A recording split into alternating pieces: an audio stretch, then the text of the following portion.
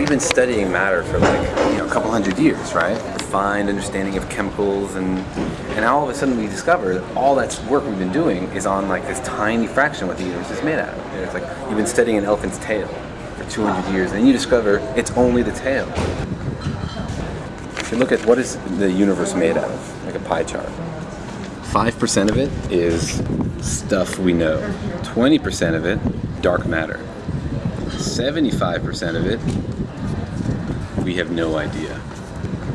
Dark matter is five times as heavy as all the matter we know about. That's the familiar kind. Stars, planets, asteroids, etc. There's these huge, massive blobs of stuff out there. It's huge. It's everywhere. We just can't really interact with it very much.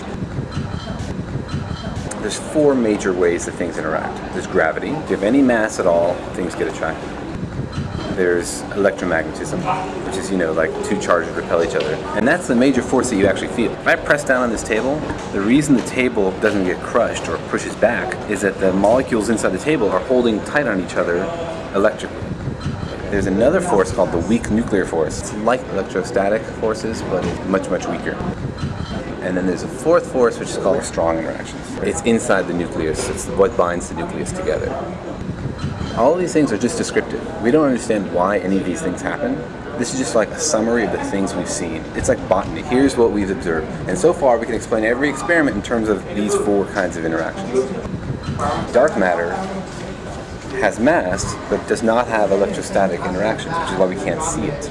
It doesn't reflect light or give off light. For a while, people thought maybe dark matter was just a lot of neutrinos, but it has to be an enormous number of neutrinos, like a ridiculous number of neutrinos. There's two classes of ways that we have evidence for it. One way you see dark matter is things don't spin the way they should if there's only normal matter. There's obviously big clumps of normal matter. There's another one that's really cool too. It's called strong lensing. Let's say you're looking out this way and you see a galaxy. If there is a big chunk of mass in the middle between you and that galaxy, then the galaxy's light can come around one way and sort of be bent into your eye, and it can also come around the other way and be bent into your eye. You can see a galaxy that you seem to see in two different directions, but the, the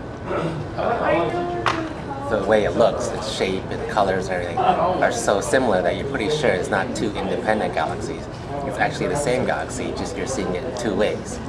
Gravity is the biggest way that we've seen dark matter because we know it feels it, right? That's why that's why we call it matter. It's dark matter because we know it has stuff to it.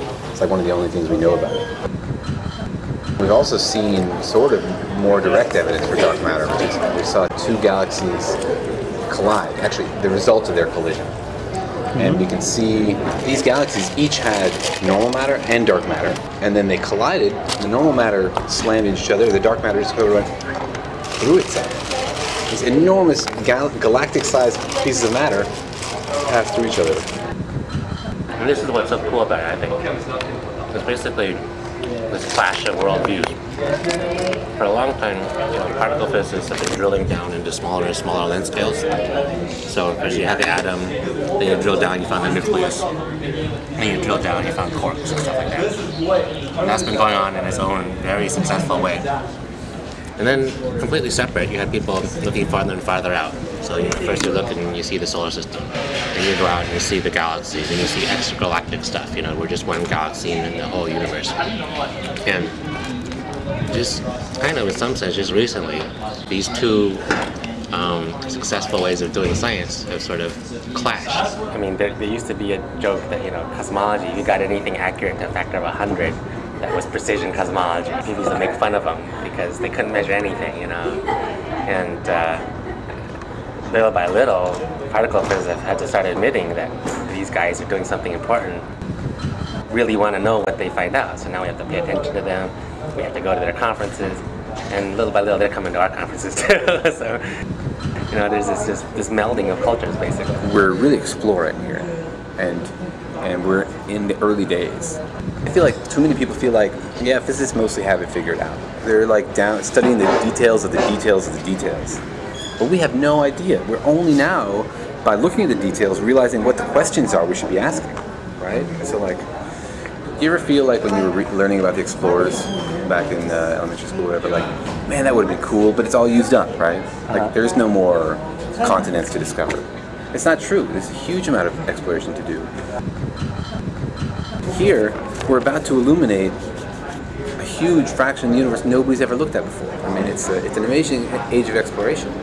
Simultaneously, we know that we know very little, which is important, so we know where to look. And we built this huge new tool. We have this collider. And the magic of a collider is you can make kinds of matter in a collider that you don't have around.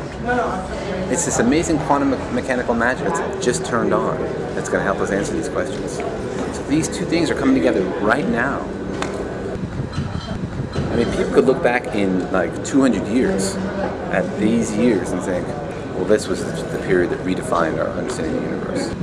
What you should take away from this is um, we don't know what the rest of the elephant looks like at all, and you should be uh, you should be ready for some surprises.